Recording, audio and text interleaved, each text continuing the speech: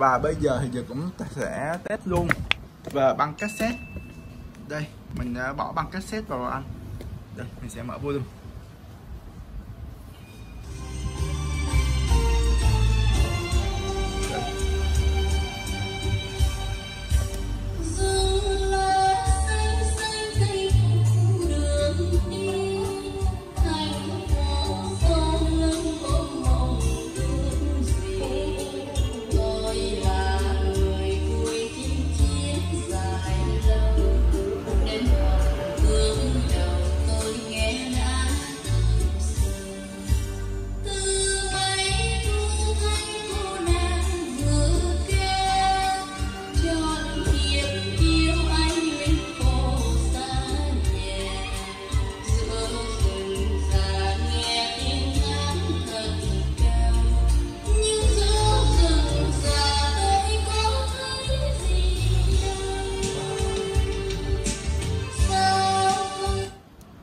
nói chung, chức năng của cassette đều hoạt động rất là tốt.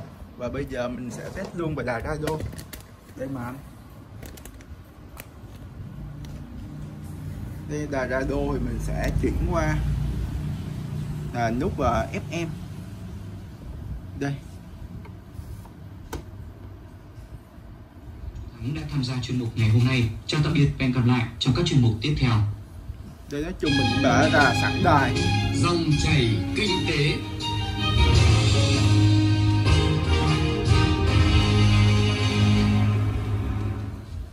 Biên tập viên Thành Trung kính chào quý vị và các bạn. Mời quý vị và các bạn theo dõi chương trình Dòng chảy kinh tế trên kênh Thời sự VV1 Đài tiếng nói Việt Nam. Chương trình hôm nay, thứ ba ngày 16 tháng 8 có những nội dung sau đây.